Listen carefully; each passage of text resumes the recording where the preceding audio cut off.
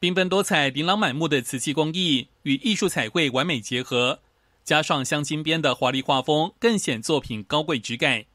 同时结合阿里山高山茶的文化，将瓷绘艺术带入日常生活的用器中，让民众体验匠心独运的手作之美。好美，我真的非常喜欢哦！啊，希望有机会的话，就可以带到越南的展览。通过这样子的呃词汇艺术的推广啊，可以陶冶在一些市民的心灵。在这样子的过程里面，可以让大家就是在很躁动的这个这个日常生活里面，可以沉淀下来。每一件作品都是要经过一次一次的窑烧，每一次烧出来的效果都出乎我意料，真的会让你真的那种无可言喻的快乐感。今年的作品呢有两百六十二件，主题是福气平安。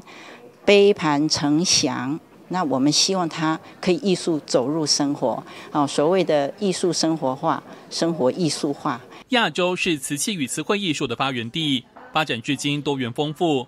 国际词汇艺术家徐瑞芬老师有感于词汇艺术是中华文化之宝，二零一三年回台湾，希望能够传承。我快七十岁了，对，所以，所以我会很紧张，万一。你知道老化的现象，万一我的眼睛不行，因为万一我的手会开始抖的时候，我就没有办法再传承下去。今天我看到每一个学生发挥出来的，觉得说，嗯，这十一年来的努力没有白费。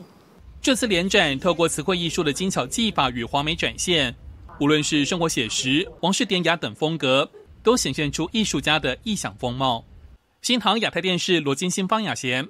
台湾嘉义采访报道。